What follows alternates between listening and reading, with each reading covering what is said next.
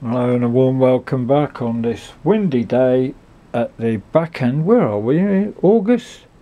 Yeah, back end of August 2024. Today on the bench is the 250 watt monoblocks parallel 807s driven by a 6 BL7 uh, long tail pair phase splitter and a CV 1135 V1 front end voltage amplifier. So today what I'm going to do, I'm going to finally stop pissing about with these amplifiers and fiddling with them. When I build an amplifier, whenever anybody builds any sort of new design, then it needs testing and tweaking, iterating. So like you get a version of a motorbike or a bit of software, you get version 1.1, 1.2, 2 point whatever, etc. And they always need a bit of tweaking, testing on the bench, and then putting in the living room, actually listening to the things, making some changes, going back and forth, and this can take quite a long time. But today what I'm going to do and try to just show you in detail-ish is how to apply negative feedback. Even if you build an amplifier with a known design like something like a Mullard 510 520 or any other amp like a Williamson or whatever then the output transformer that you use with that design will to some extent probably need will need the negative feedback tweaking because every output transformer is different. So what do you need to test an amplifier for this job? You need a dummy load which is this big blue thing here. This is quite a big complex high powered one but you can just bung a few resistors on a heatsink and that will do the job just as well you need some way to measure the output of the amplifier and some way to measure the distortion, the total harmonic distortion and if that can be done in decibels that's even better.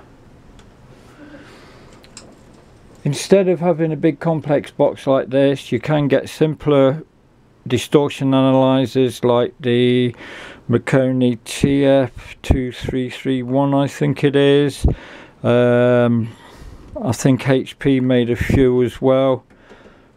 So you don't need a big complex box like that, box like this, or you can use a bit of software on a PC. However,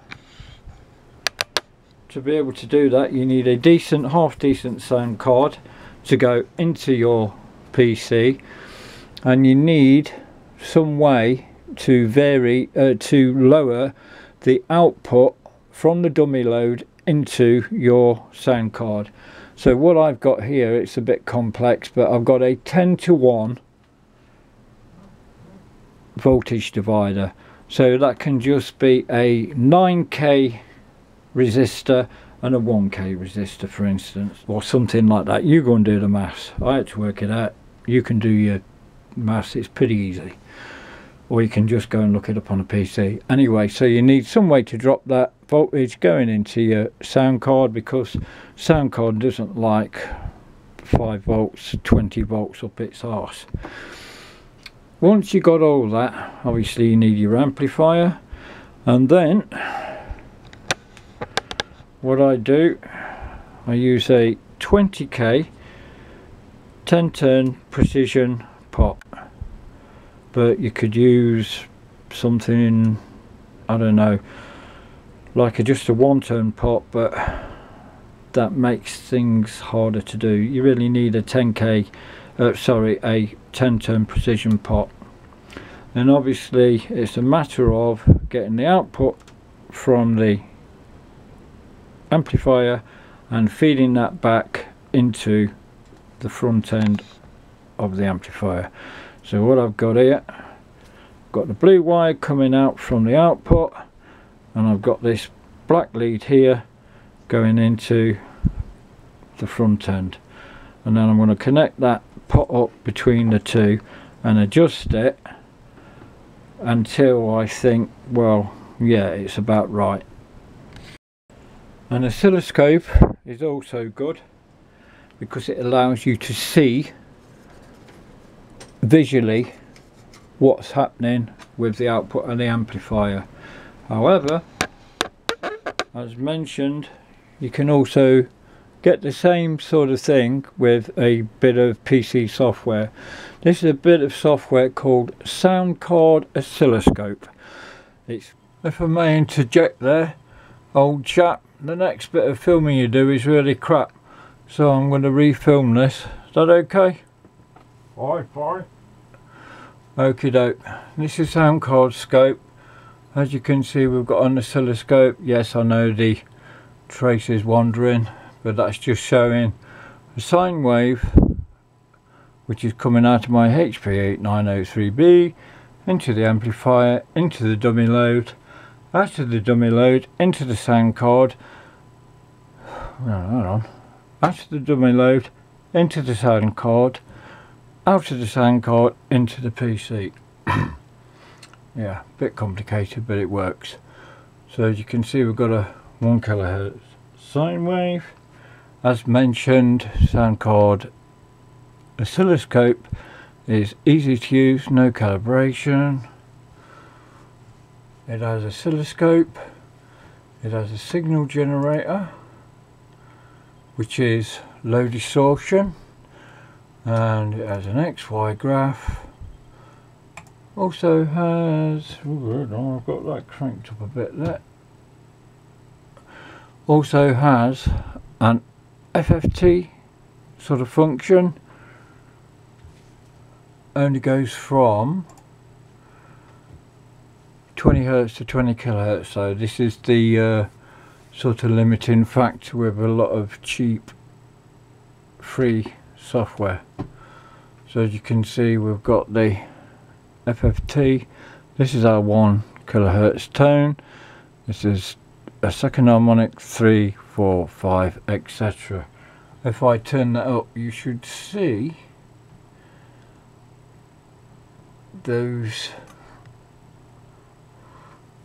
going up a bit. So we've got quite a bit more second than third just here. And at the moment I'm that is the open loop. No negative feedback applied. What that looks like with negative feedback applied we shall see later.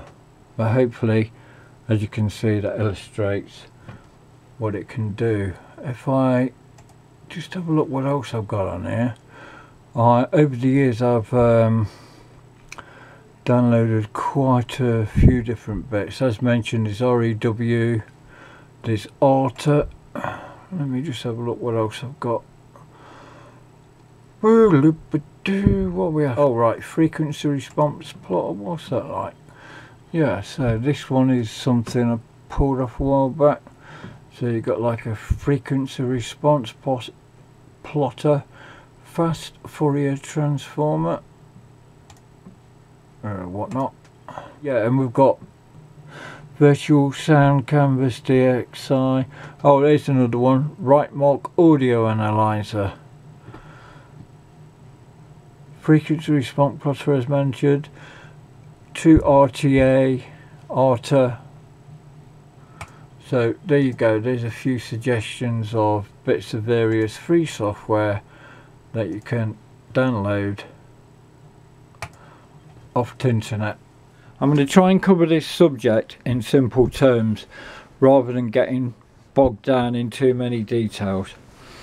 So first off, why do we apply negative feedback in an audio amplifier? We apply negative feedback because it improves frequency response. Your noise, hum and noise, will be better. It can change the output impedance of an amplifier and a few other things but in a nutshell it makes it better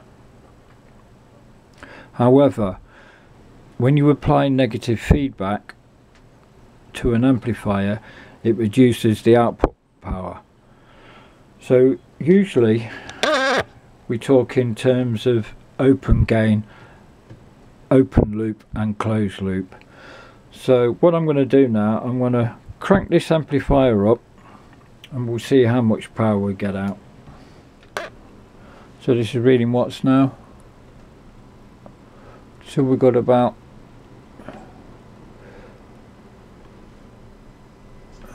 right 26 Right, okay, that was a bit oh shit. You fucked up there and we'll start off applying a bit of negative feedback. Just get a arbitrary amount of output power voltage coming out. Right, we've got let's just set that to about 6 volts.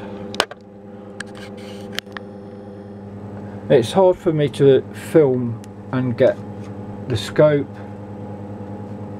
and the audio analyzer in shot. At the moment we're reading 6 volts RMS out. I'm now going to apply some negative feedback. Right, ready? You see the figure up there, 6 volts. On, let me just zoom you in. You see that figure, that 6 volts drop. So it's now dropped to 3.76 volts.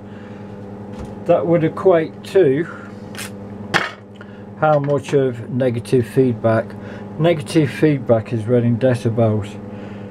So what we do, you need a calculator. 20 log. Our first figure was 6 divide that by let's call that 3.8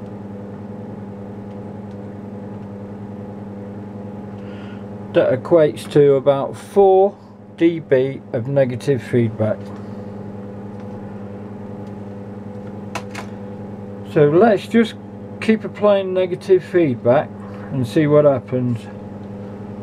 I'm going to point you now at the scope.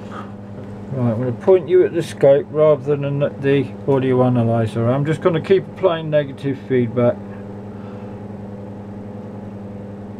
see what happens as you can see the it's a bit hard to see if I just do that you will see the amplitude of that sine wave going down I'm really cranking the negative feedback up now.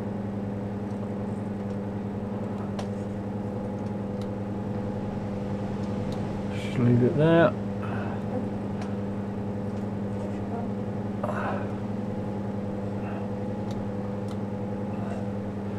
Can you see what's happening? Look, it's starting to dance about.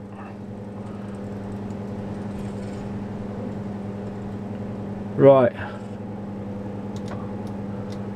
see what's happening now it's going unstable so lesson one if you keep applying negative more and more negative feedback the amplifier will go unstable it just yeah it will turn into an oscillator rather than an amplifier because we've got too much feedback going into it.